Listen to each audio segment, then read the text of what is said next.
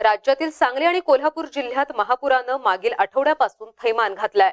या थैमानालाही न जुमानता एनडीआरएफच्या जवानांनी अहोरात्र जागत स्वतःचा जीव धोक्यात घालत लोकांचे प्राण वाचवले आणि आपली कर्तव्यनिष्ठा बजावली. त्यामुळे कराडच्या महिलांनी रक्षाबंधनानिमित्त जवानांना राख्या बांधून कृतज्ञता व्यक्त केली आहे.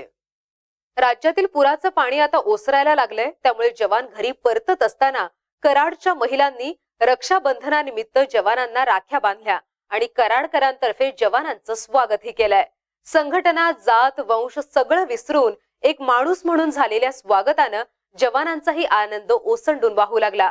कराडकरांकडून झालेलं स्वागत म्हणजे एक प्रकारे जवानांच्या कार्याची पोच पावतीच म्हणावी लागेल.